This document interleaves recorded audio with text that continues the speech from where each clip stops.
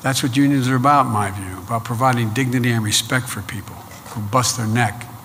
That's why I created the White House Task Force on Worker Organization Empowerment to make sure the choice to join a union belongs to workers alone. And by the way,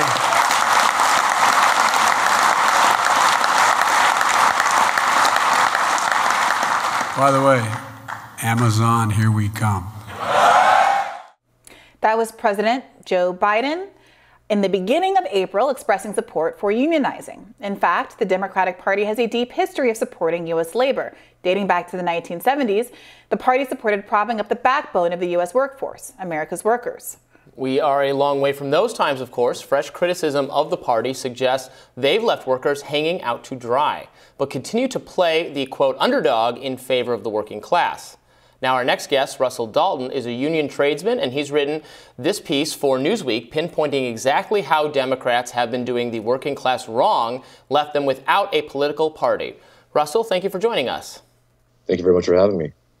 Now, Russell, in your op-ed, you write, quote, our bread is buttered maintaining the coal-fired, gas-fired, and nuclear power plants that scatter this country and provide the only reliable sources of power to keep our iPhones and electric cars charged. Yet as a citizen who casts his ballot like everyone else, I keep asking myself, who represents our interests? To put it succinctly, no one. Can you elaborate on that for us? How have Democrats abandoned the working class of late? Well, they abandoned them back under the Clinton administration with the signing of NAFTA. And ever since then, they've facilitated the wholesale, basically scrapping the country for parts, which really started back under the Reagan administration. And basically just to keep, for, for no other reason, just to keep the market pumped. And so because growth really ran out in the system back in the mid to late 60s, we've really had to really reconstruct our like our companies to basically externalize our cost onto society or at the cost of the employees. And so, kind of 40, 50 years of that has really transitioned the entire economy. And so, what the biggest problem facing labor is that, you know, the number of factories in this country are a fraction of what they were, and the nature of employment is different. And so, like by way of example, what's the difference between what's the difference of me getting paid $20 an hour, $80 an hour to go fix a power plant? It's not $60 an hour, it's one tenth of one cent per customer for a week. Mm. And so the because that kind of work is gone, the kind of work where the increased cost of labor can be distributed broadly in the system and absorbed with relative ease. You know, labor's in a real tough fight because like the working class today, I mean, it really is the you know the barista with a master's degree serving coffee who can't mm-hmm. get a mm. job. And so you know to counter from my example what's the difference between her making $12 an hour and 30 well it's the difference between a cup of coffee going for three bucks to eight or nine. That's untenable. And so we just keep moving forward and far, further into this path of like basically entire peasant class who can't afford anything. And they can't and the nature of their work can't afford anything like approaching respectable wages well, what do you say to people who point to the huge gap that's emerged from the mid part of the last century to now between the average worker pay and the average CEO pay, who say, well, that most certainly some of the problem, much of the problem is rooted in these trade deals that disadvantage the American worker and send so many jobs over overseas. But also part of it is that you have um, CEO to worker pay ratios that are in excess of 300 to 1, whereas at a more profitable time for workers in American history where there was greater union density, it was 30 to 1. How much onus do you put on kind of the extractive, hyper exploitative kind of system of capitalism that has emerged in a kind of post regulatory era? Well, I mean, it, I think it's huge, but I don't think it's quite the story that it is. You know, it's like Amazon. I think they have some kind of policy where like it's they limit to like thirty or forty to one, something like that. But they make up the difference by just giving these big wheelbarrow fulls of stock options to their management, and so they can preach that you know there's all these ways. There's all management has all these tricks around all these things, and so while this the you know this the the sticker cost of like oh man three hundred one is pretty bad and it is bad. And now, I mean, it, and it's and they're they're their reasoning behind it is all is pretty clearly self-serving. You know, so well, we won't be able to attract a you know competent manager without being able to pay them you know 300 times what the peasants are getting paid, and you know, and the people who actually do the work as well. I mean, management doesn't really do much. I mean, they got to make decisions, but they're not the ones swinging the hammer or mopping the floors.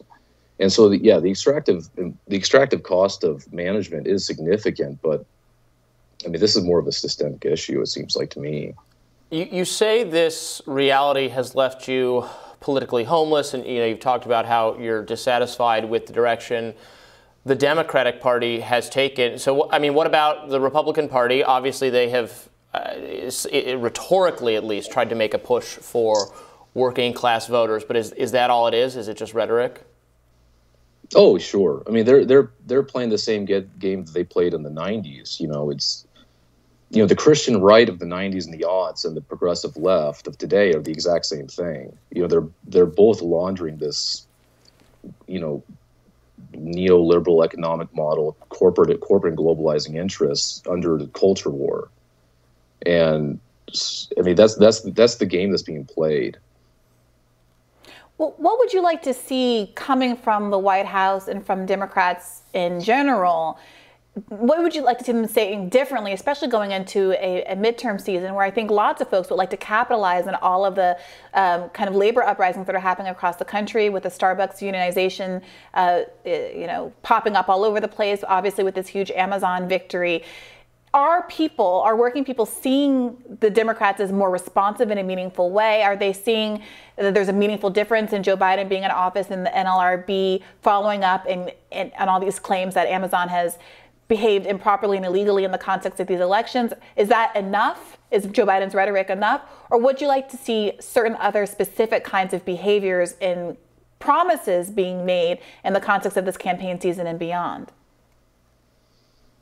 I mean, that's a pretty good question. I mean, talk. I mean, you know, talk is cheap. You know, I mean, so AOC sure talks a good game, and now she and she's she's sharp.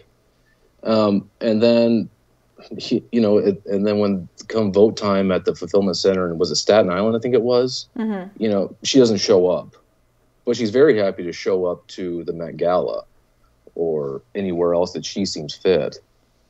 So back in as soon as Joe Biden got in office, there was that miners' strike down in one of the southern states. I think it was Alabama. Mm-hmm, Bessemer, Alabama. Yeah. Oh, the miner strike. Yeah. Yeah, it was one of those southern states, and you know, he didn't show up he, I mean, he may have paid lip service, but you know, it's like you got to show up, and you actually got to make your effect known and felt. And oh, yeah, yeah. So I mean, I think you're right that a lot of people, including Chris Smalls, uh, who you know was leading the protest, they were critical of AOC for not showing up. She subsequently did reach out to Chris Smalls and has showed up along with uh, Bernie Sanders and some others to ongoing uh, organizing efforts in the area. And he, you know, I think Chris Smalls would, would say you put the pressure on, you criticize the people, and then they respond, and you're happy that they responded. That's the point of criticism, not to necessarily, um, you know, eh, you know, hang them with their mistakes for the rest of their lives. But it is interesting that there, to me, that there's not necessarily a clear understanding of what substantive support looks like other than showing up at these picket lines, which of course is meaningful, but it is also easy to kind of co opt, I think, which is the point that you're making. And it's not clear how mm. much of that support is going to manifest into real returns for workers down the line from a political perspective. Oh, oh yeah, certainly. You know, Twitter's not real. Tweeting support is not real. You know, like, and the fact that, you know, she, so, I mean, not to pick on AOC, no disrespect to her personally, but when you, when she couches herself in this working class dress, and then you know has to be called out when she kind of goes some like that's the that's a problem you know the fact that she has to be criticized and then gets to show up and then can somehow try and spin it to look like a hero is i mean it's it's all i mean politics is all game. It's all game. And so it's i mean and you know so like the piece i wrote was pretty vitriolic but in you know we got to kind of understand the position that our politicians are in. I mean they're being pulled in a million different directions. And the problems and the problems they're facing that we are all facing in the country are so monumental that and then no one really knows what the hell to do. Mm. you know education doesn't work healthcare doesn't really work the economy has been stagnant and basically contracting for the last 50 years and what the hell do you do yeah. It's a good question. Well, we're trying to discuss that every day yeah, on no the show. kidding. and hey, I'm not smart enough to figure it out either. Yeah. You know, but it's like you kind of look around. And it's, you know, the system works very well for the top five or ten percent, and it works incredibly poorly for the bottom seventy percent. And then there's that middle ten to fifteen percent that's really struggling. You know, that that up that seventy to eighty five percent. I mean, they're living a very precarious existence in this country, and I mean, it's, it's kind of making everyone go insane. You know, it's like everyone just kind of feel the noose getting tightened around the neck in this world. You know, and like the supply chain issue doesn't really seem to be getting solved anytime soon. Well, Russell Dalton, thank you so much for joining us. We really appreciate it. Hey, thank you very much. Sure appreciate it. We'll have more Rising right after this. Stick around.